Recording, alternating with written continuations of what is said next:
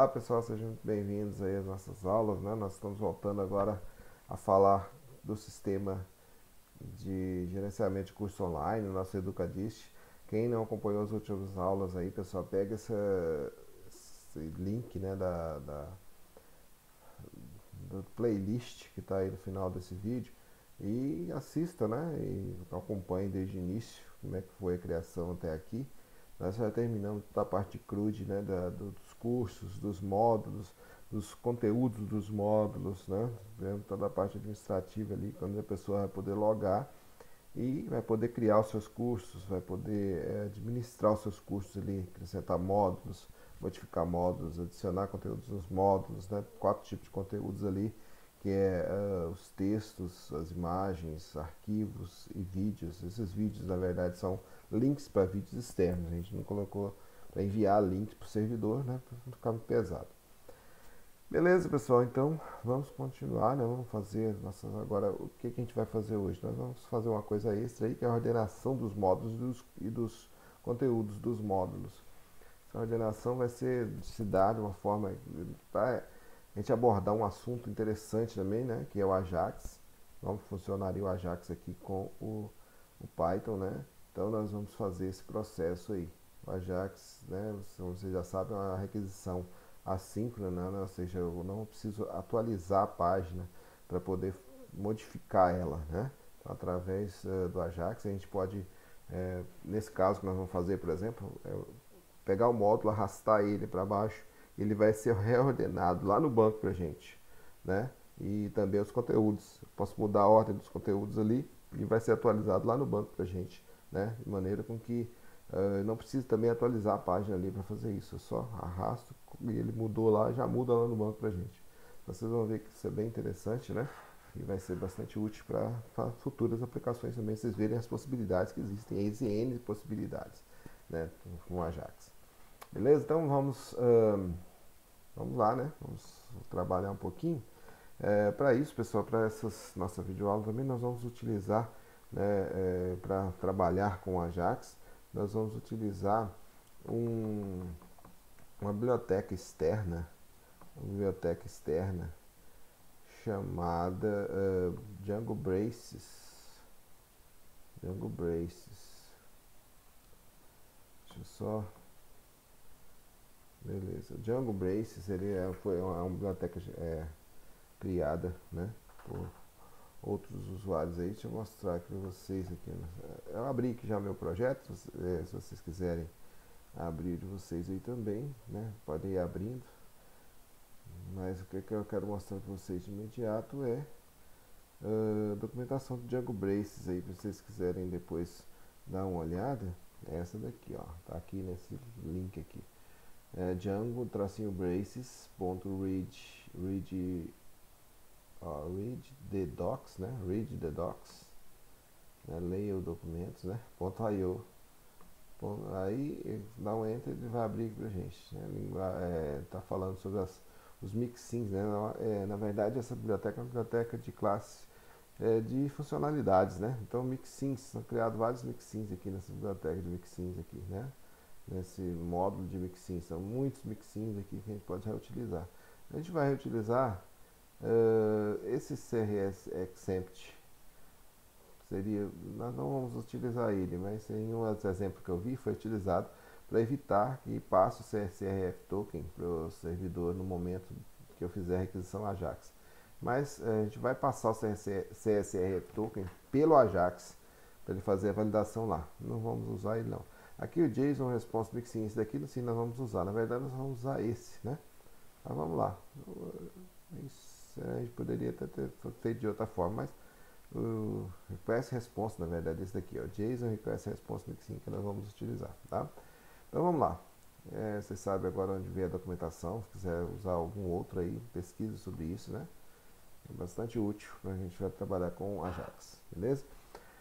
Então, ó, hum, vamos, a primeira coisa que a gente vai fazer é instalar então o, o, o nosso, o nosso, nosso, módulo, né? Django Braces. Então, vamos lá. Pip install. É, é, pessoal, eu devo ter instalado ele já, porque eu já havia gravado esse vídeo, só que ficou sem som. tô regravando tudinho, tá? Então, install Django, tracinho braces, tá? Beleza, é isso aí. Pip install Django, tracinho braces. Então, enter, ele vai, o meu aqui vai dar dizendo que ele já foi instalado, né? Já está satisfeito, ó. Requerimento já satisfeito. Ele está falando a minha versão do pip está desatualizada, depois eu vou atualizar. Beleza, mas ele, você fazendo isso, ele vai instalar o seu, seu Django Braces. Agora nós vamos aqui na nossa view, tentar ser um pouquinho mais rápido aí, vou tentar baixar aqui um pouquinho essa tela também. Pra, né? Aí aqui, ó, nós vamos na nossa view, nós vamos criar, pessoal, é, classes para ordenar os nossos módulos e também ordenar os nossos, uh, ordenar os nossos conteúdos dos módulos, tá? Então vamos lá. Vamos criar aqui uma classe, class. Tá, antes de, de gente, antes de criar a classe, a gente pode fazer o, o import. É, a gente pode fazer, mandar o, o próprio PyCharm fazer esses importes, mas, né, você quiser fazer antes também pode. Vem aqui em from Django, é, na verdade não é Django não, né? Braces, ele é uma biblioteca externa. Então from braces ponto views é, import JSON request response mixin, aquela primeira opção ali. JSON, né, JSON, request mixin. É, request response mixin, esse cara aqui, tá? Vamos utilizar. Se quiser fazer depois também pode. Vamos continuar aqui. Ó, então a classe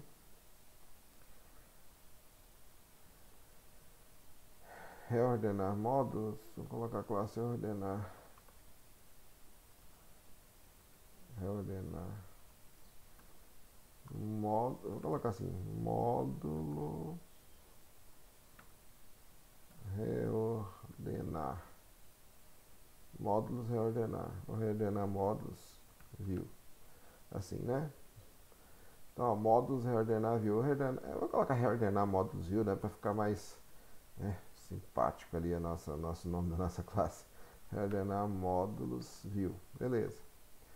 Vamos colocar que ele vai herdar agora, pessoal, nós vamos usar aquela classe lá, aquele mixin, na verdade, né? Então, JSON request response mixin. Se você não tiver feito o import, você coloca assim, ó, response mixin. E aí, quando você colocar ali, eu vou, vou também herdar de view, né? Claro. Quando você fizer isso, ele vai ficar, né? Você vai ficar sublinhadinho ali, é só você parar o mouse em cima e mandar ele importar disname, né? Ele vai importar, é, vai ter lá o import correto lá, beleza? Aí feito isso, nós vamos fazer então, é, vamos sobrescrever o método post desse aqui, porque nós vamos enviar os dados do Ajax por post para cá. Então nós vamos fazer isso. Então def post e hum, opa, def post e aí self e vou pegar o request também, que eu vou usar pegar alguma coisa do, vou pegar o usuário, né, o dono do, desse módulo do request. Vou explicando aqui o que está acontecendo. Opa, já tinha colocado. Beleza. Agora, o que nós vamos fazer, pessoal? Nós vamos é, deixa eu só, ver um negócio aqui. Bloco de notas.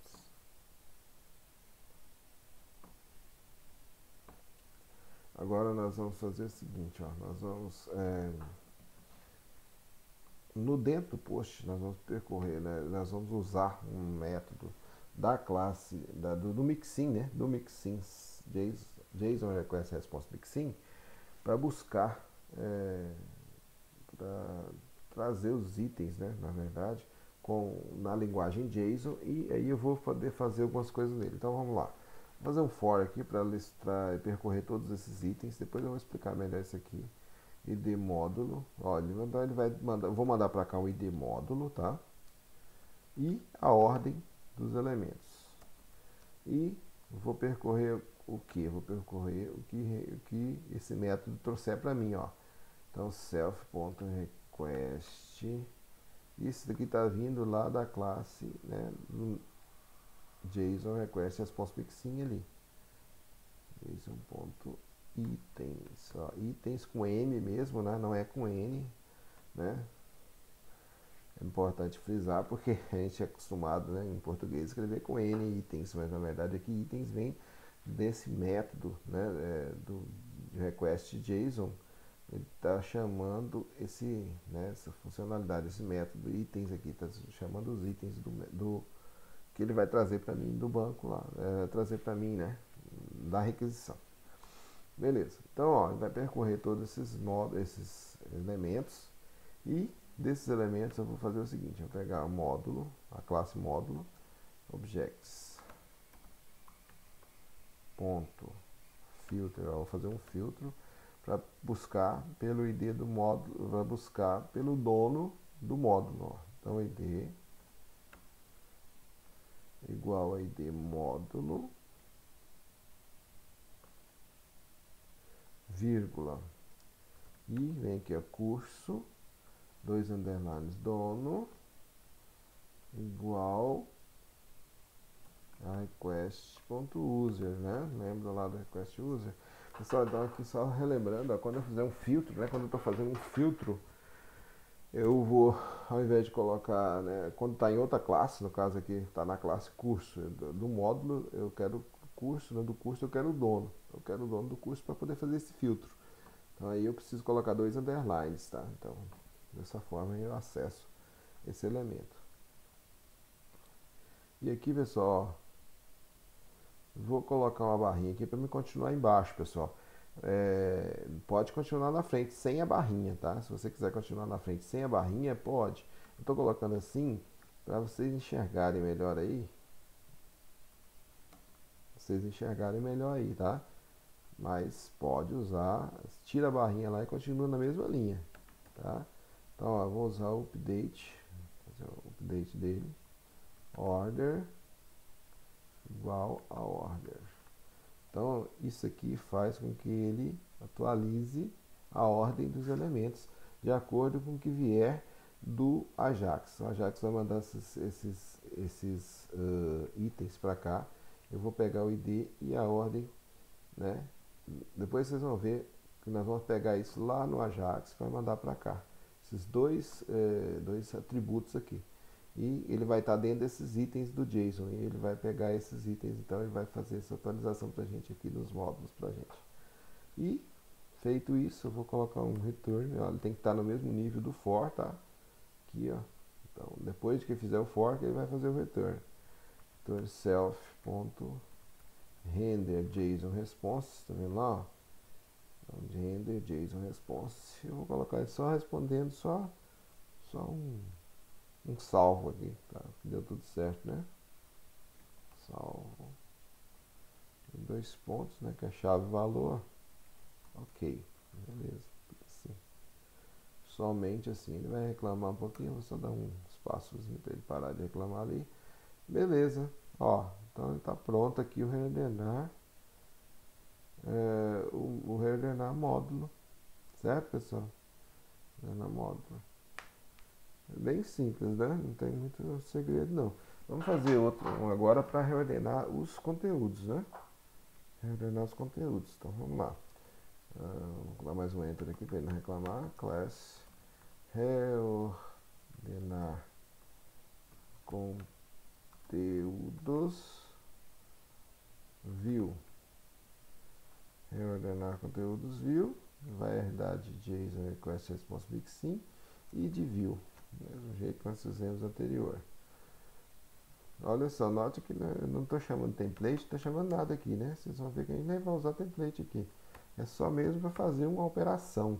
Por isso que é, essa classe né, é considerada é, uma classe controladora, né? Então, é, do, do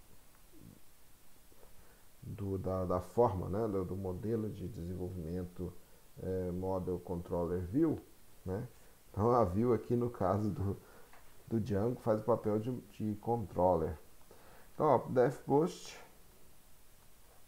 é, self e request, né? mesmo jeito. Pessoal, é praticamente a mesma coisa do, do, do, uh, do anterior. Se você quiser copiar também, até pode lá, tá?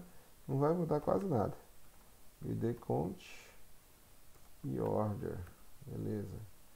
In, né? Vou pegar aqui self ponto uh, request request JSON, né? request JSON ponto itens, mesma coisa lá, itens com M, né? Então, ó, vai percorrer, vai pegar o ID conte e ordem, e aí nós vamos fazer o que aqui? Vou pegar o conteúdo agora,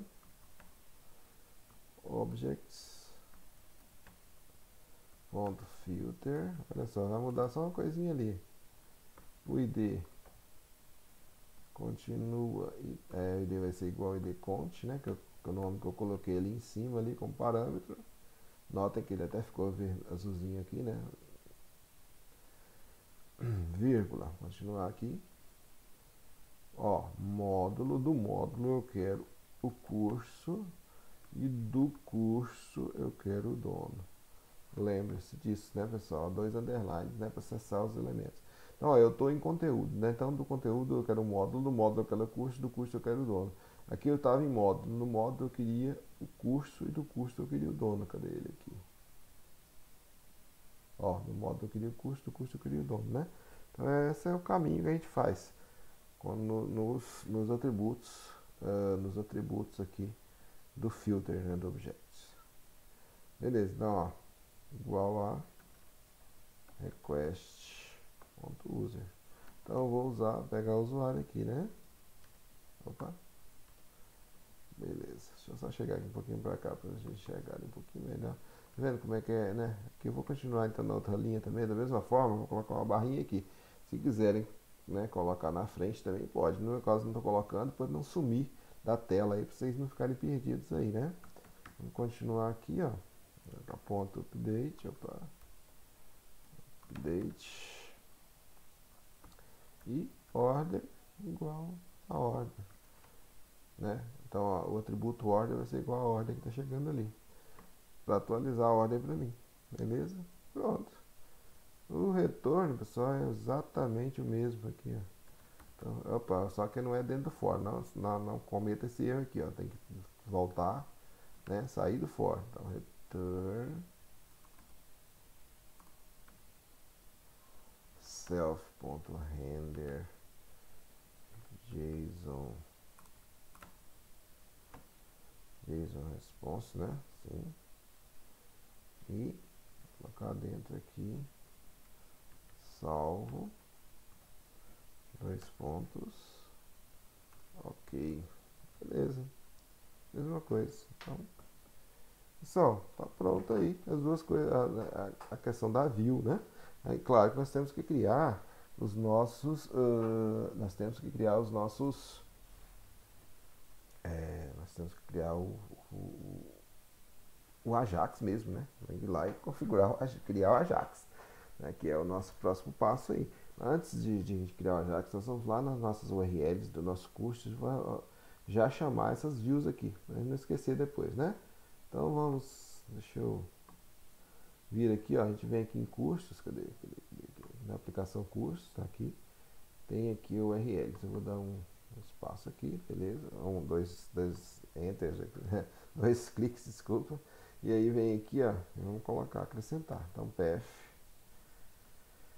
Vamos acrescentar os nossos PFs aqui, né? Para a gente poder uh, chamar, evidentemente, essa reordenação aí dos nossos cursos, né? Para a gente poder, então, é, trabalhar dessa forma. Vamos lá, então aqui. Peraí, peraí, peraí. Aqui, né? Então aqui, ó. PF. É, vou colocar assim, conteúdo. Opa. Conteúdo. Conteúdo. Não. Primeiro módulos, né? Módulos. Barra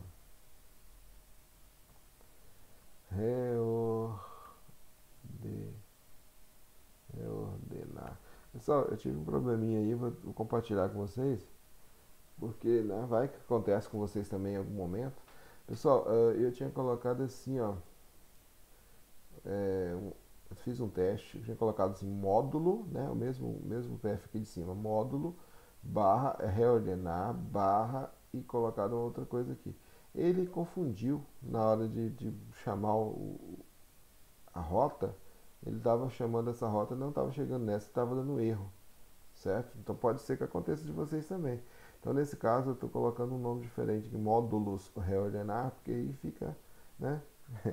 fica mais tranquilo. Embora que não era para dar esse tipo de problema, pessoal. Não era. Não sei porquê, não sei se foi um erro meu, se.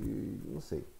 Eu sei que estava dando problema. Então por isso eu estou usando módulos reordenar aqui. Também é um nome mais significativo, né? Beleza.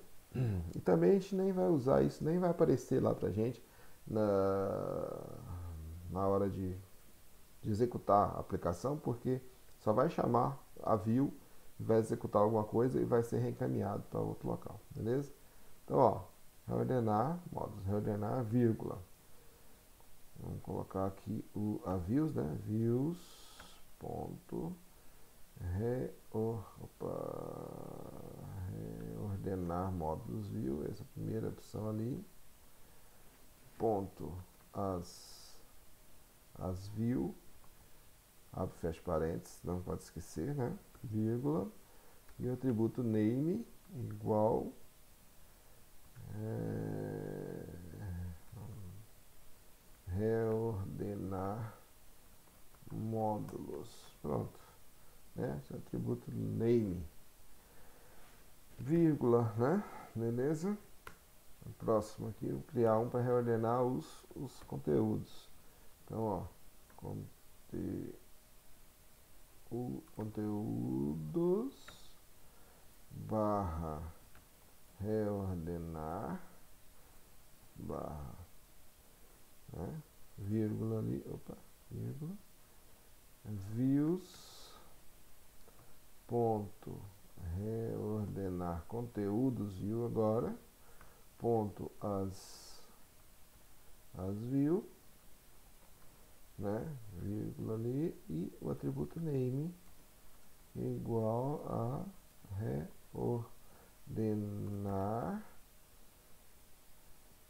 conteúdos. Beleza. Então esse é o nome né, do nosso, do nosso, da nossa rota aqui. Beleza, pessoal. Então, ó, fizemos né, o processo agora de, da nossa view e já configuramos a nossa URL para chamar essas duas views que nós acabamos de criar ali. Ok, então agora o próximo passo é a gente mexer no nosso template, né? Então, nós vamos lá, modo template view, né? Então, o modo já estava pronto, mas nós, nós estamos mexendo nos, nas views e nos templates. Então, é, fizemos esse processo. Eu vou dar uma olhada como é que está meu vídeo aqui. Né, já tem 25 minutos quase. Então vou fazer o seguinte, vou, o próximo passo é a gente vir aqui nos nossos templates e dar uma organizadinha no gerenciar na hora de listar lá os módulos para a gente poder então lá é, mudar algumas coisas lá, né? É, primeira coisa que nós vamos fazer, vamos aproveitar esse, esse vídeo ainda e vamos no nosso base aqui, ó, vamos abrir então os templates, vamos aqui na nossa base HTML, vamos abrir ele aqui, tá? Nota que a gente já tinha feito uma, uma, uma, uma import aqui, certo? Import do jQuery aqui, né? Que é a biblioteca JavaScript que nós vamos utilizar para usar o, o Ajax. Pessoal, a gente dá para fazer Ajax sem jQuery? Dá, tá? Só que o, o jQuery ele dá uma, uma, uma, ajudada, né? Ele traz algumas coisas meio prontas pra gente aí. Então vai facilitar o uso do Ajax. Embora que dá para usar com, com JavaScript puro também, tá? Mas o que, que nós vamos fazer aqui? Nós botamos jQuery, vamos dar um Ctrl, Ctrl D aqui, ó. Para ele copiar isso aqui pra gente. E aqui nós vamos aqui vai ser quase igual, tá? Só que até aqui vai ser igual. Vou apagar aqui. Até aqui tá? Então até aqui vai ser igual. Daqui para frente nós vamos ter que usar, nós vamos colocar ali, nós vamos colocar um, um uma, uma, outra biblioteca, na verdade, né? biblioteca que ela vai ser é, é, essa biblioteca na verdade é, é baseada no jQuery mesmo, só que ela vai ela é específica para algumas coisas de, de, interface gráfica, interface com o usuário, que é a biblioteca de jQuery UI, né? UI, de User Interface, tá? Então nós vamos importar essa biblioteca aqui, só o jQuery, né? Poderia ser suficiente também, mas tem uma coisa que facilita mais, né? Então vamos colocar ali um, um UI depois do jQuery ali, né? UI barra 1, vou colocar a versão, tá? Vou usar essa versão porque é a versão que eu estou fazendo testes aqui está funcionando, né? Se quiser usar uma versão mais nova, você pode fazer teste e ver se ela vai funcionar também. Ó, 1.12.1 barra, vamos repetir de novo aqui, jQuery tracinho ui.min.js. Certo, pessoal? Então, ó, deixa eu só eu vou, deixa eu ver se eu consigo minimizar isso aqui. Vou chegar um pouquinho para cá. Depois eu aumento de novo aí. Então, ó, o endereço completo é esse, né? E fechou no final. Então, é essa biblioteca que nós vamos usar para trabalhar com o nosso jQuery, é, com o nosso Ajax lá, tá? Aqui, pessoal, ó, tem um, tá vendo que logo abaixo dela que tem um script, né, que abre um, isso aqui, na verdade, está falando assim, quando o documento estiver pronto, ou seja, quando ele estiver carregado, estiver tudo certinho, ele vai executar essa função aqui, ó. Então, aqui, essa função, abrir um bloco de Python aqui, bloco do read, né, na linguagem de template do Python. Esse bloco do read fecha aqui, né, ou seja, quando o do estiver pronto, ele vai executar isso. Então, eu vou pegar e depois nós vamos é, lá no listar conteúdo, lá nós vamos poder então trabalhar com essa com essa com esse bloco aqui, ok? Então vai ser a nossa próxima aula aí, né? Nós vamos falar sobre isso. Então fiquem atentos, né? Sejam é, até a próxima aula aí, né? E acompanhem para poder ficar tudo certinho a aplicação de vocês.